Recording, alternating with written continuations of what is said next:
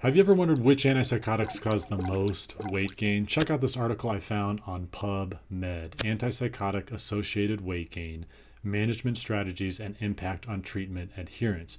Buried a few pages down is this convenient table listing the top offenders for antipsychotic induced weight gain. You'll notice at the top, we've got Clozaril and Zyprexa, the two worst offenders. And if you've watched some of my other videos on antipsychotics, you may have heard me say when I was working at the state hospital as a nurse, I saw some patients gain a pound a day for 90 days straight. So, in a three month period, we're talking 90 pounds of pure fat. That's 90 pounds of sheer fat. We're not talking muscle here, we're talking adipose tissue. And when patients gain this amount of weight this quickly, it's typically because they are taking both Clozaril and Zyprexa, which is kind of funny because if you know anything about Clozaril, it's a medication that's supposed to treat treatment resistant schizophrenia. In other words, schizophrenia that has not responded well to other medications, which then begs the question why would someone be taking Clozaril and another antipsychotic at the same time? Perhaps a lurking psychiatrist can answer that question. If we take a look at the list, again, we'll notice we got Seroquel, Risperdal, and Invega that cause moderate weight gain. And then at the bottom, we have Abilify. I have no idea what medication this one here is.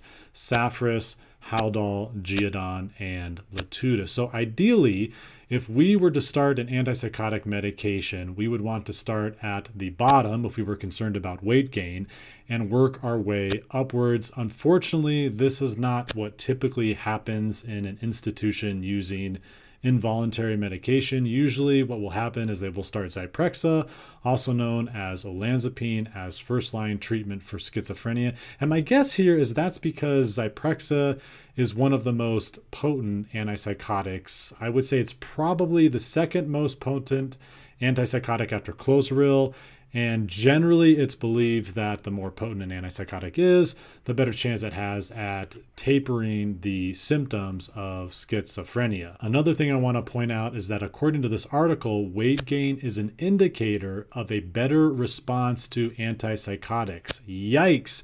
So if someone is taking an antipsychotic medication and their weight is increasing, then according to this article, there's a better chance their symptoms of schizophrenia are diminishing. I also want to mention I worked on a unit where the psychiatrist had everyone on a low caloric diet. So that means anywhere from about 1600 to 2000 calories max per day. And this was by far the only unit in a large psychiatric hospital where the patients did not gain an excessive amount of weight. And these were patients who were generally taking clozapine or Zyprexa or both. Sometimes they were taking lithium as well.